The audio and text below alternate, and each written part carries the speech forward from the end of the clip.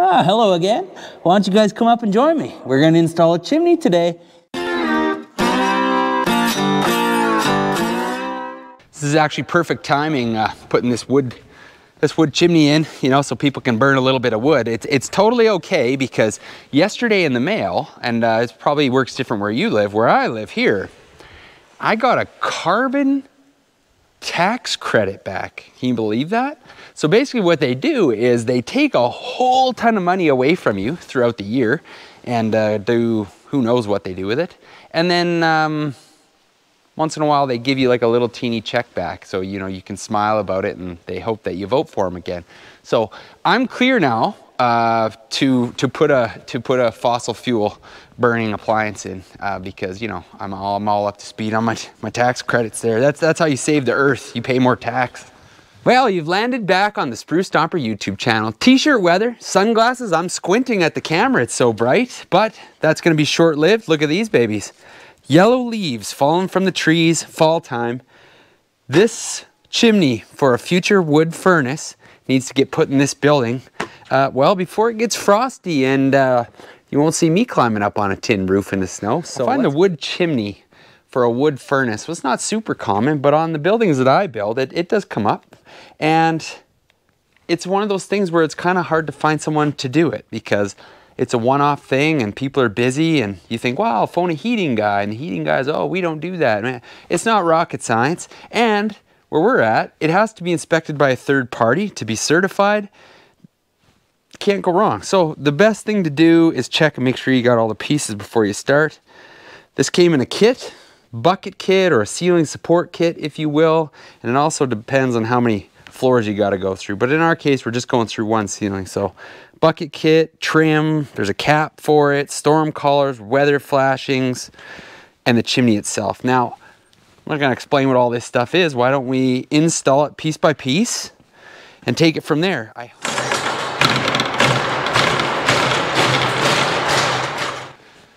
if it sounds echoey, that's because it is echoey. There's nothing in this building. Woohoo! Woohoo! Way it goes today. This we got super lucky. The wood furnace is gonna be located here at the back of the building. And they said, wouldn't it be aesthetically pleasing if we could put it between the window and that exhaust fan? You know, it's out from the wall, but that way it's not blocking the, the window and that sort of thing. Well, man, I'll tell you, it is perfect. It is perfect because we live in snow load country. So let's walk out here and I'll show you what I mean.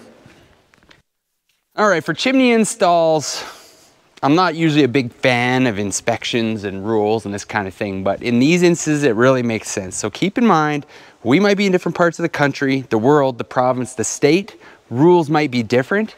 So um, you, you gotta watch how you do this stuff. Fire's not funny when it uh, gets where it's not supposed to be. So I'm just gonna point out a few things that I do before we even start because uh, obviously the placement of the chimney is, well, it's critical makes or breaks the whole operation. So for where we're at, there's a couple of rules that you gotta follow. The chimney has gotta be a certain distance away from combustibles for a certain length. It also has to extend above the roof and the roof line a certain amount. In our case, on the back side of the chimney, it has to be two feet above everything within 10 feet of it with a minimum of three feet of chimney sticking out the front if it's down the slope. If that makes any sense, just, just let's bear that in mind. Two feet above anything within 10 feet. You don't want that baby getting buried with snow. Now the other thing you want to shoot for is you want that chimney right up there near the peak, if possible. In an open accessory building, it's fairly possible. In a house, well, maybe not so possible, right? There's a lot of other things to deal with. But if you have a chimney away down here and it's got to be sticking away up here. The snow is incredible on this roof. So there's a whole lot more that goes into that chimney. It has to have support brackets.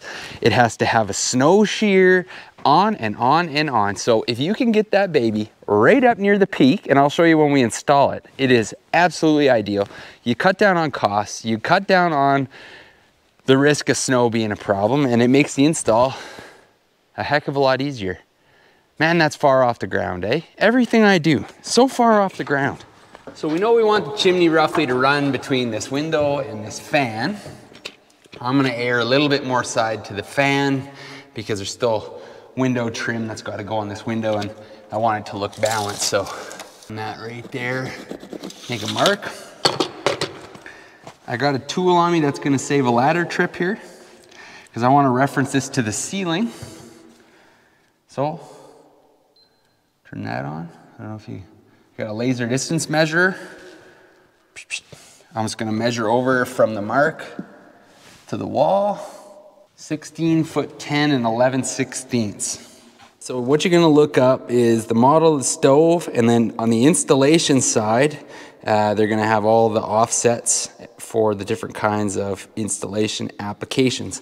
So once you got that looked up, this is uh, this is a Blaze King 40. Oh man, tell you, doesn't that just make you feel warm and cozy right off the hop?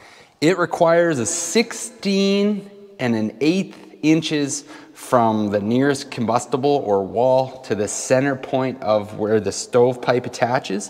And it has a minimum requirement of six inches from the back of the stove to nearest combustible. So we, we've got plenty of clearance. Oh yeah, I got, I'm 16, we're 16 inches just to that first truss. So we'll keep it tight to that backside of that truss. And that should put us, I mean, that'll put us perfectly in where we, where we wanna be. So now before you go cutting holes in a ceiling, pretty solid plan to sneak up in the attic and have a little peek-see as to what's up there. Electrical wires do not like saws, it turns out. And I don't want the electricians to come back.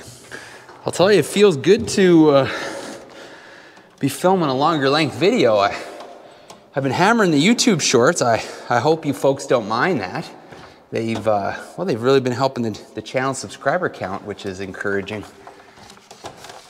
Anybody home? Geez i hope not. Anything living up here is not to be good at this point. All right now that we're up here i got this handy light man. It came with this uh, creators edition gopro. And look how good it works as a flashlight sometimes you just get lucky so here's where we're at it's all about reference points. So I can't see the bottom. I can't see our mark in the bottom. But I do know from the middle of that light, 32 inches over, was our mark. So that's good, because that puts us right in this here box. On this style of building, the last two truss bases are blocked every 24 inch on center. Uh, this diagonal, not a big deal. Well, not a big deal. If you were a plumber or electrician, you'd be like, oh, it's not a big deal, and you just hackety chop it out of the way. We are going to remove this brace, and then we're gonna relocate it so it isn't in our way. Because every board that I put up here, and I put all these in here, I framed the whole building, that's there for a reason. So we're just gonna relocate it over a little bit.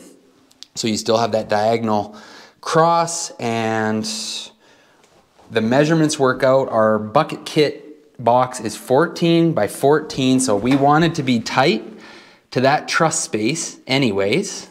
And it just so happens that that block that's already there is also in the right place to be in line with that window downstairs. So we really only have to cut two boards and uh, the framing is done. Man, I'll tell you, when you win, you win. See up here? You can probably see, see all that? There is a lot of bracing in, in this truss system. It was a lot of work, to be honest. A lot of work. Way down there. That's 80 feet, that light down there.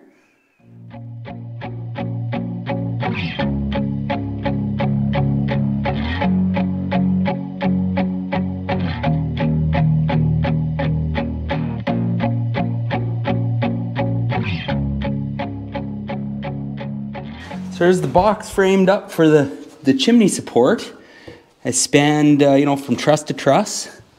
Then I got my cross block here. This is 14 and an eighth by 14 and an eighth, just a little bit of clearance so we don't have to fight. And I also wanted to point out, I did not put the chimney support kit tight to the truss. Now the reason for this is that we have to cut a hole through the ceiling up here And that'll give us an extra, I put the block on the bottom, so it's gonna space that chimney kit out an inch and a half further. And that inch and a half is gonna make a, a lot of difference when we go to cut this hole in up top, uh, because I, I like to cut it. It's easy to cut it with a jigsaw and cut through everything one shot and a little bit more space to clear that, that cordless the cordless jigsaw she's bulky it's got that great big battery hanging off the back so just something I kind of remembered to do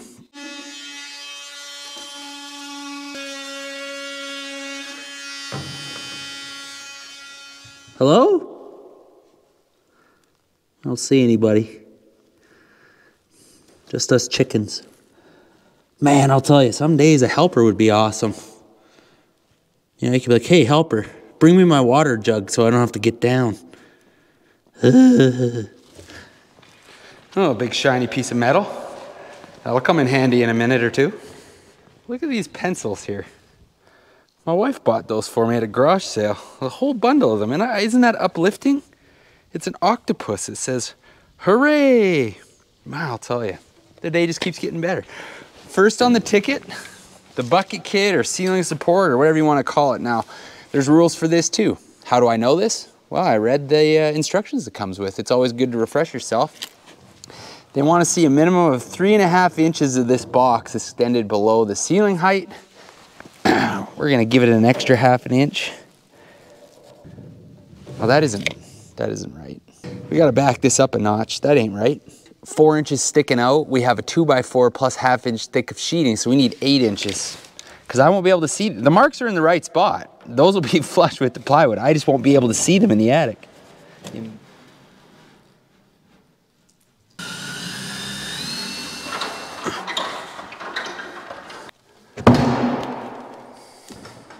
Okay, so this is supposed to slip into this, but I suspect that we may have to notch this as well.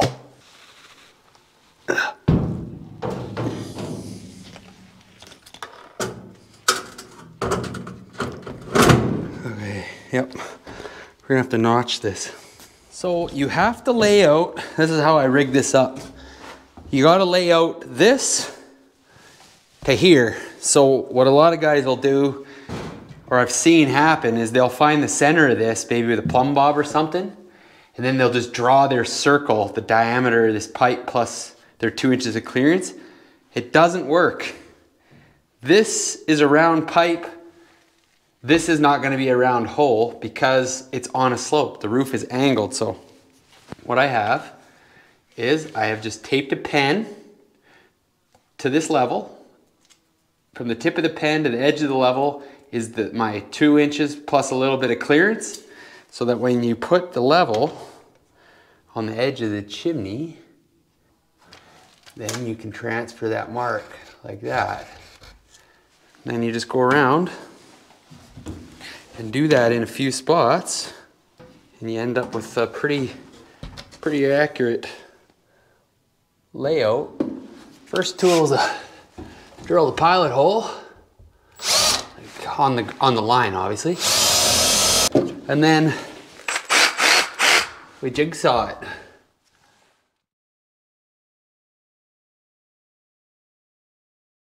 There's your layer cake of roofing the tin the underlay and the OSB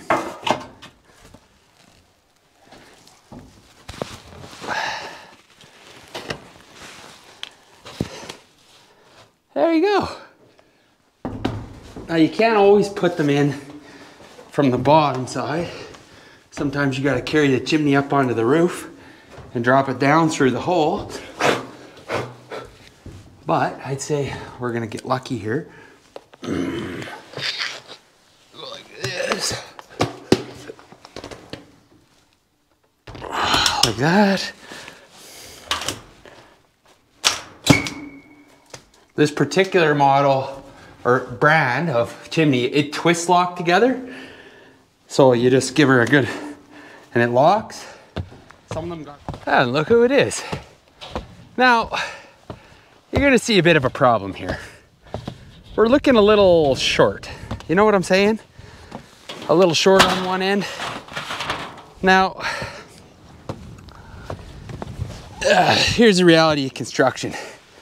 We started filming this video, all the materials were here. They'd already been dropped off. I mean, I had a look at them, but you know, I just had a quick look uh, the day before and it was what it was. I didn't have time to get more stuff anyways. Well, they got me two four foot lengths a pipe and yes, that got through the roof, but you know, we're, uh, we're running short here. I think so you see some videos where like, oh, and they, they would wait and then wait and get the piece and finish it. That isn't gonna be the case for me. I don't have time for that. I need it as much done as I can. So we're gonna do all this up. We're gonna button it up and then we're just gonna put a temporary lid on this and Monday we'll have the final piece and it'll just clip on and it'll be over. But 95% of the work will be done today because for anybody that does work that has any sort of schedule, one delay, a domino falls in the schedule and it, it can bugger up the whole next week. So we're gonna press forward. That's what I'm saying. Okay, because we don't have the next piece of pipe and this is, uh, it's important that this is lined up. It's I've got these, these offsets here like that all around and those are gonna rest up against the pipe. So I've just made pencil marks, get that line back up there, like so. That's on my pencil marks. And then I just simply took a straight edge, uh, my, my Hooray octopus pencil here, and I just lay that on the flat, bring it up. See, it's just touching that offset.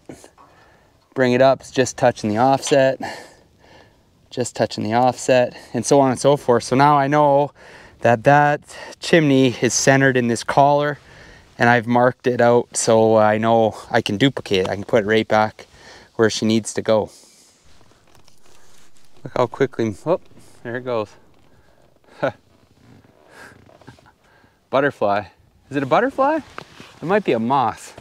I don't know. Okay, with a quick trip down the ladder, this is what we got here now uh, with the, the roof flashing.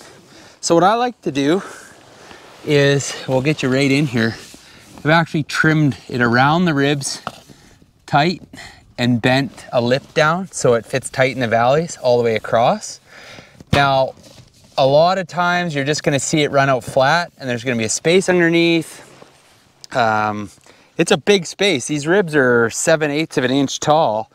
So you'll see it like, you know, somebody's tried to fill it full of caulking or you're not sealing water. That's not the point. Water runs downhill. That's on the downhill side of the flashing.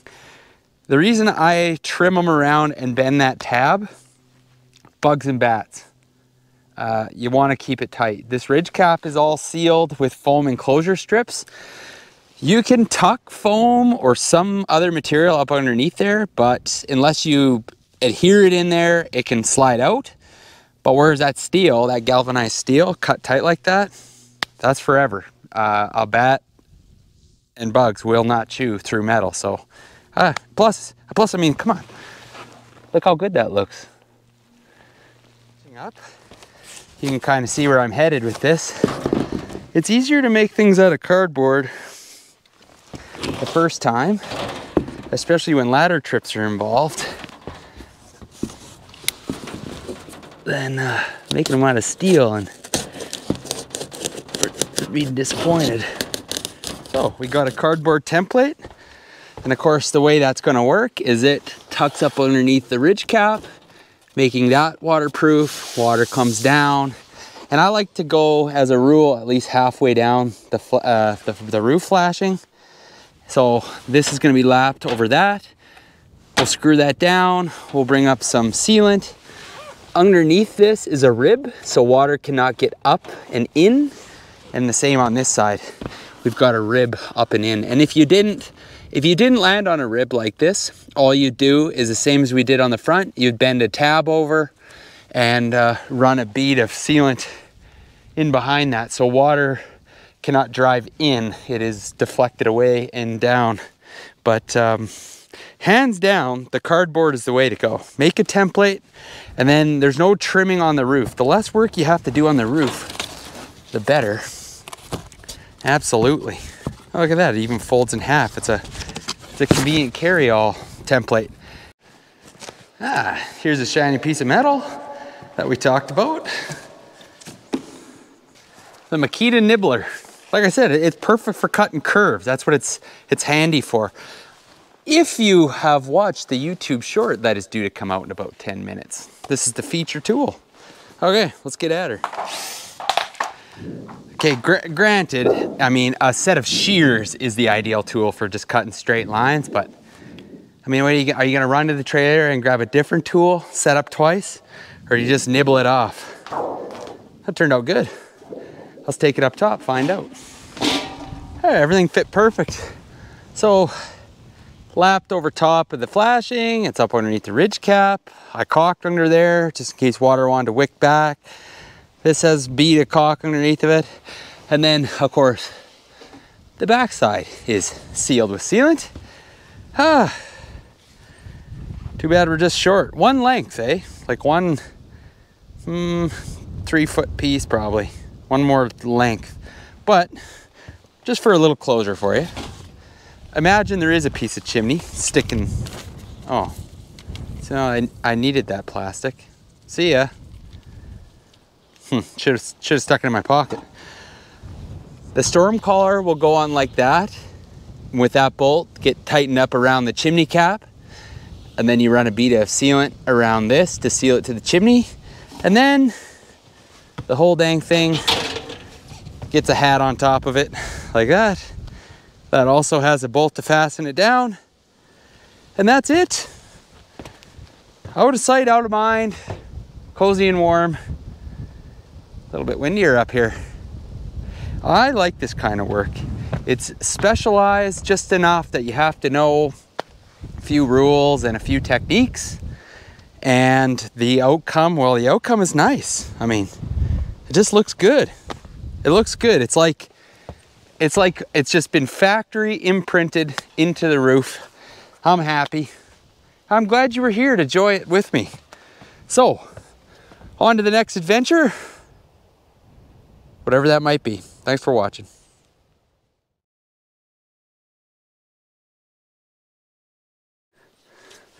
There you go. For now, it's uh, now it's just a skylight for now. It's got a little plastic condom hat on top of it there. There you go. uh, just in case she rains. Parts on the way. Parts on the way. Isn't that what you always hear? How come the job's not done? Oh, waiting for material. When's it gonna be done? Oh, when the material gets here. When's the material gonna get here? Oh, I don't know. So what you're telling me is you don't know. Yeah, I don't know.